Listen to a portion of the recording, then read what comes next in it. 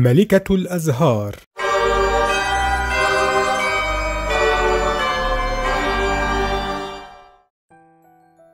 كان ما كان في قديم الزمان امرأة ليس لها أولاد فلجأت إلى ساحرة عجوز تطلب منها أن يكون لها طفل. فأعطتها الساحرة حبة شعير وطلبت إليها أن تضعها في وعاء تنبت فيه الأزهار.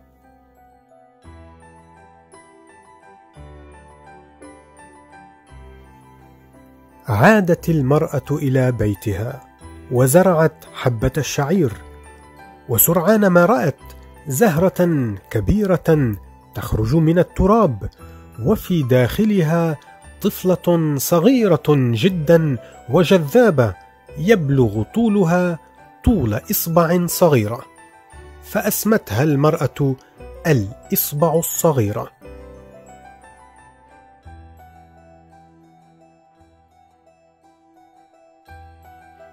وفي إحدى الليالي كانت الصغيرة نائمة في مهدها فدخل الغرفة علجوم قبيح. حمل الصغيرة إلى الحديقة التي يسكنها هو وابنه. واضعا الطفلة الصغيرة على ورقة نبات في وسط إحدى الساقيات.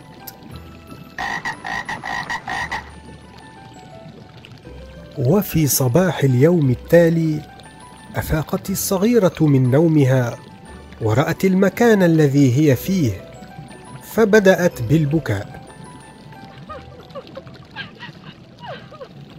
وحين عرفت الأسماك الصغيرة أن العلجوم القبيح ينوي تزويج الصغيرة بابنه القبيح اجتمعت وقطعت ساق الورقة بأسنانها فسقطت الورقة في الماء وحملها الماء بعيدا إلى النهر الذي لا تستطيع العلاجيم الوصول إليه.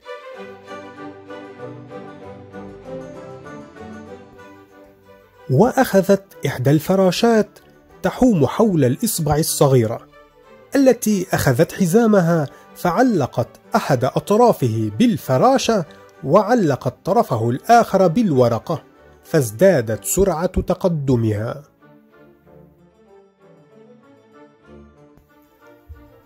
وفجأة مرت إحدى الجعلان الكبيرة فرأت الصغيرة فأحاطتها بقوائمها وطارت معها إلى إحدى الأشجار. وسرعان ما جاءت الجعلان الأخرى لزيارتها فوجدنها هزيلة ووصفنها بالقبح. سمعت الجعل الكبيرة رأي الآنسات فظنت أن الفتاة الصغيرة قبيحة فأنزلتها عن الشجرة وطردتها. وهكذا قضت الإصبع الصغيرة فصل الصيف وحيدة في الغابة. تتغذى برحيق الأزهار وتشرب الندى الذي يسقط صباحا على أوراق الأشجار.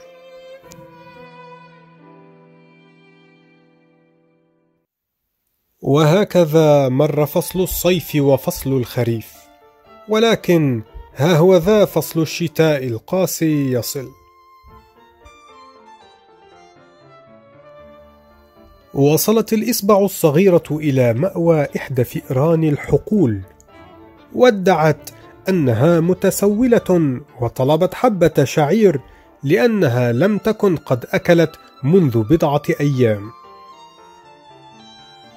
وسمحت لها فأرة الحقول بقضاء فصل الشتاء في بيتها على أن تبقي غرفتها نظيفة وأن تروي لها قصصا جميلة.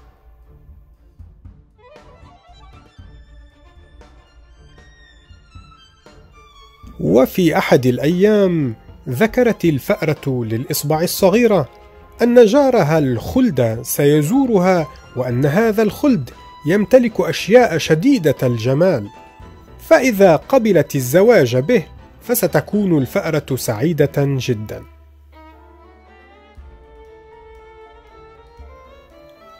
وحين وصل الخلد سر بوجود الإصبع الصغيرة وطلب منها الزواج به فلم ترفض لأنها لم تكن تريد إغضاب الفأرة. وأراد الخلد أن يفرح جاراته فسمح لهن بالتنزه في ممر سفلي كان قد أنهى حفره. وخلال تنزههن في الممرات السفلية رأينا جسد سنون قد مات من الجوع. خافيا رأسه وقدميه تحت ريشه.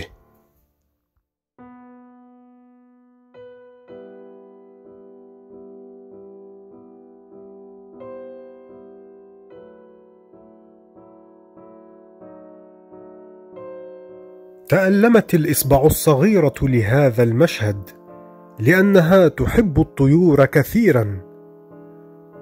وعندما عادت إلى غرفتها لم تستطع النوم فحبكت بساطا من القش اليابس وذهبت وبسطته فوق الطائر.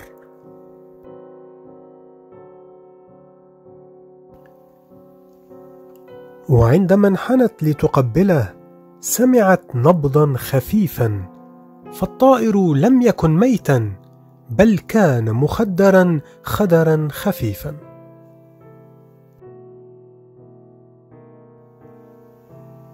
فأحضرت له الماء في ورقة من أوراق نبتة الزهر وشرب الطائر وروى لها كيف جرح فلم يستطع اللحاق برفاقه إلى البلدان الحارة. وخلال فصل الشتاء كانت الإصبع الصغيرة تعتني بالطائر من دون علم الفأرة والخلد.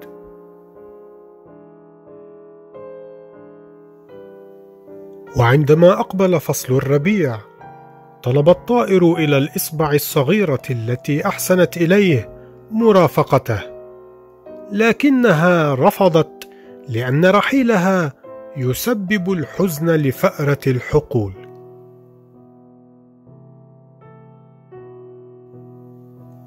كان حزن الإصبع الصغيرة كبيرا لأن الخلد كان مصمما على الزواج بها. ولما حان يوم الزواج حضر الخلد ليأخذ الإصبع الصغيرة إلى ما تحت الأرض فطلبت منه أن ترى الشمس للمرة الأخيرة فخطت بعض الخطوات خارج البيت. ولحسن حظها رأت السنون يمر فنادته وتعلقت بريشه وهرب الاثنان بعيدا من الخلد القبيح.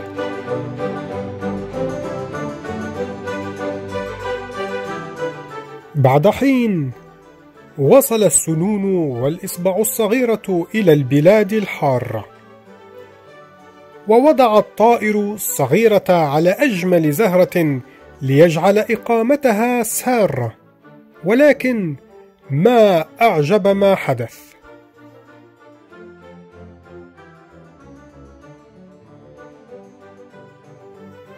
كان رجل أبيض جالسا في الزهرة يضع على رأسه تاجا ذهبيا وعلى كتفيه جناحين لامعين.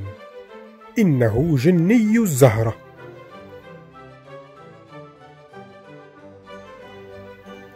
حينئذ وضع الجني تاجه على رأس الإصبع الصغيرة وطلب منها أن تصبح زوجة له. وحين وافقت أصبحت ملكة الأزهار.